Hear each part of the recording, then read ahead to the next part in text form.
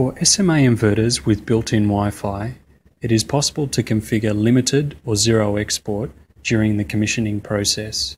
For an SMA inverter with an energy meter directly connected to the inverter, after connecting to the inverter's wireless network, open a browser and log in as an installer.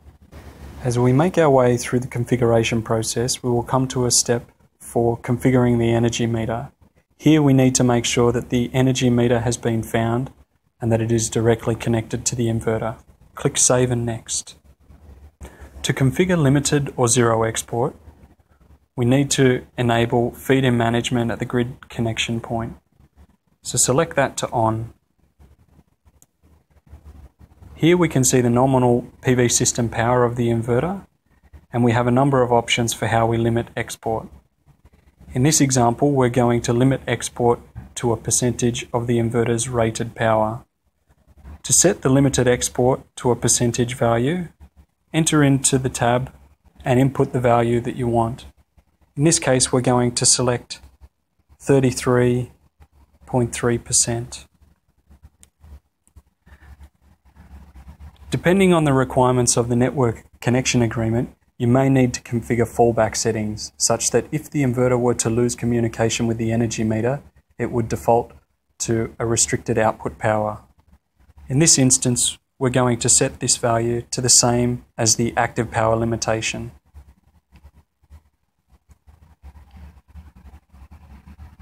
Alternatively, you may need to set an export limitation in terms of watts.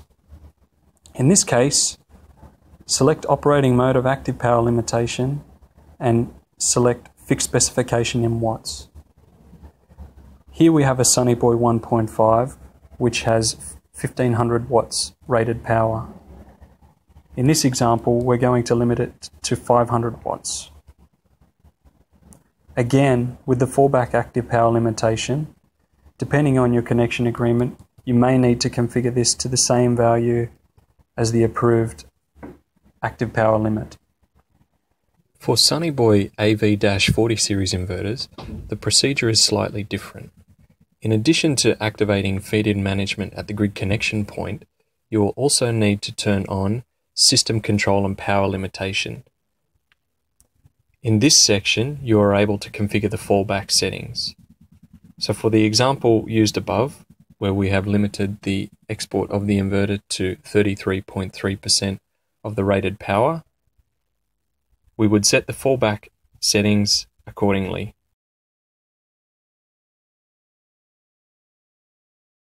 We should also select grid disconnection for 0% feeding in to no. Once configured, you would then click Save and Next.